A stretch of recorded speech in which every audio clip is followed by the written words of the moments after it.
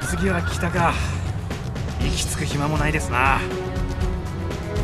すまんな花公園わしが石壁で不明だったばかりに。いやいやいや。そういうことを言いたかったわけじゃありませんや。しかしあれで乱世の終わりが遠のいたのは事実。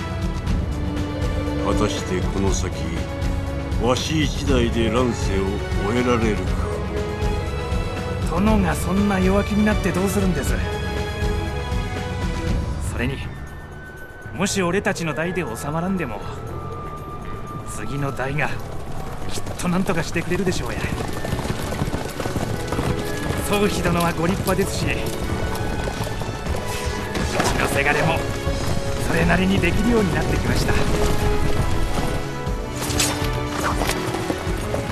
うん。ならば年寄りは若者の露払いでも務めるか。またそういうものによ。